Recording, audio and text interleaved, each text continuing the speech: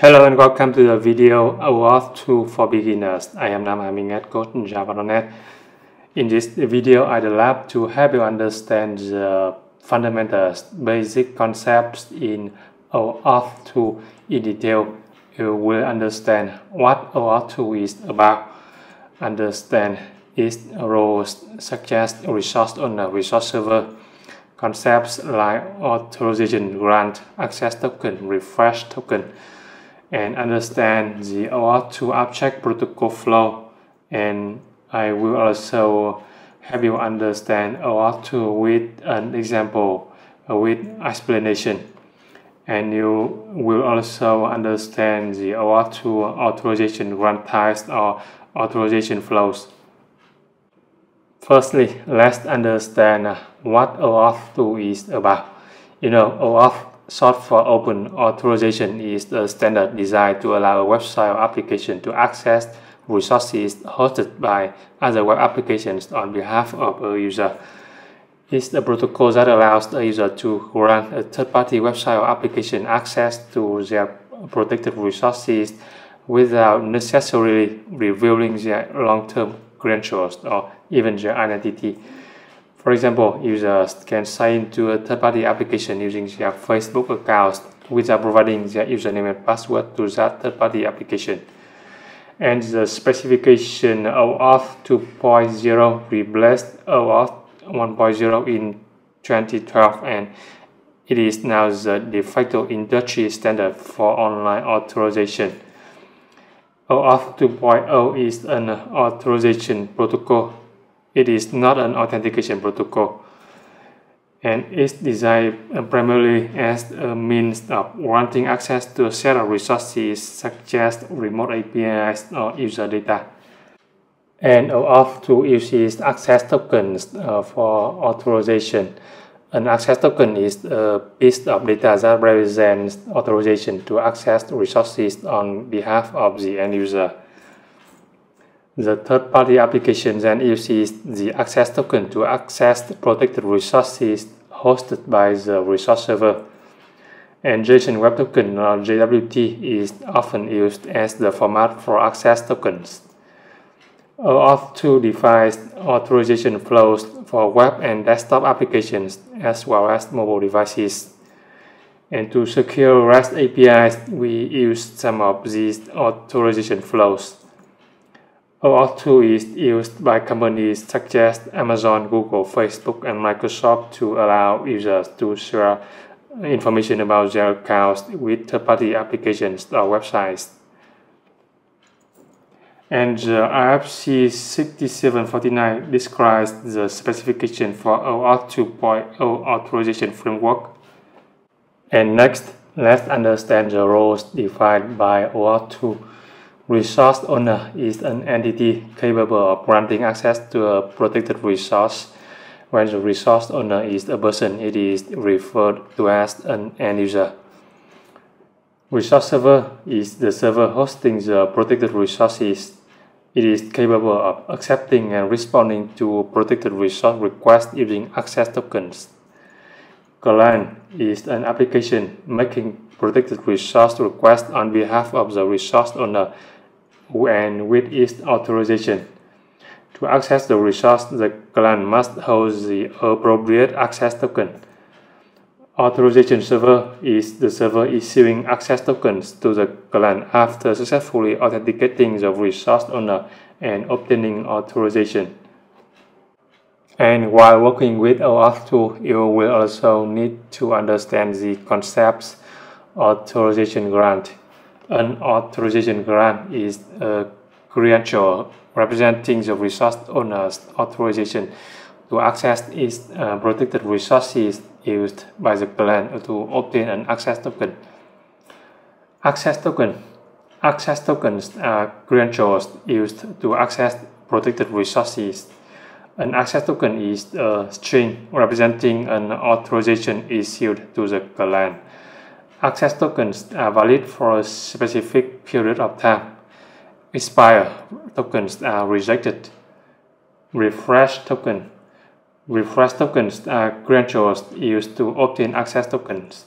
A refresh token may be included when an access token is issued by the authorization server. Refresh tokens are used to obtain a new access token when the current access token becomes invalid or expires. And let me explain the OAuth 2 abstract protocol flow that defines the authorization flow authorization process between client resource owner, authorization server, and resource server. Firstly, a client sends an authorization request to the resource owner.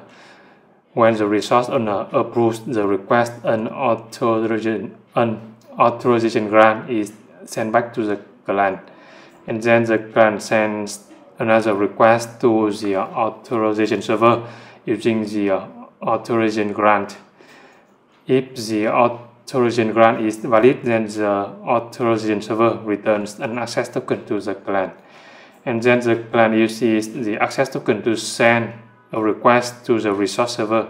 If the access token is valid, the resource server returns the protected resource to the client. Note that the authorization server may be the same as the resource server or it can be a separate entity. And a single authorization server may issue access tokens accepted by multiple resource servers. This is a abstract protocol flow and depending on different types of clients and uh, different scenarios, there will be uh, more specific uh, protocol flows. Let me give you a concrete example with uh, explanation for the scenario you sign to ChatGPT application using the Google account. In this uh, scenario, you are the end user or the resource owner. The resource you own is the account details hosted by Google. ChatGPT is the client application. Google acts as both authorization server and resource server. ChatGPT asks for your account details by directing you to Google's authorization page. You approve ChatGPT's request by sign, signing in to Google using your credentials, username, and password.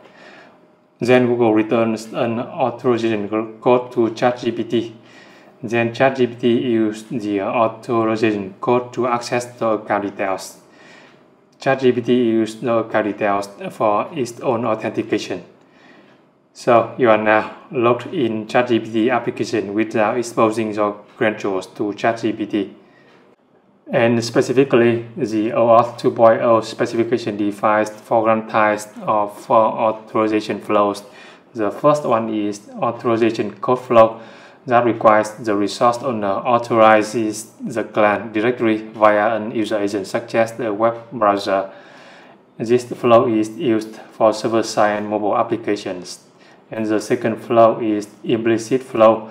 The client is issued an access token directly without authentication. This uh, implicit flow is used by JavaScript-centric applications or single-page applications. And the third authorization flow is resource owner password credentials. In this flow, the client uses resource owner credentials directly to obtain an access token. This flow is used for clients that are completely trusted. And the fourth uh, authorization flow is client credentials. In this flow, the client credentials such as client ID and client secret can be used as authorization grant. And this flow is used for non-interactive applications such as in REST APIs and microservices. And the OAuth 2.0 specification also defines uh, some extended authorization flows, such as device authorization code flow that provides means for input constrained devices such as smart TVs to obtain an access token, and refresh token grant flow that allows the client to exchange a refresh token for a new access token. And I think that's enough uh, for the basic and fundamentals of OAuth 2 for beginners. To learn more, I recommend you check the OAuth 2.0 specification in the RFC 6749 at this URL. This is the official specification of the OAuth 2.0 authorization framework. You see, you can understand the uh, different uh, authorization flows as authorization code grant yeah. As implicit grant flow yeah. As resource owner password credentials grant flow here you see. So it's recommend it's recommended to check out this official specification uh, to learn more about OAuth 2.0 Alright, so I hope you now have some good understanding about OAuth 2. Please subscribe to my channel, like, comment and share this video. Thanks for watching.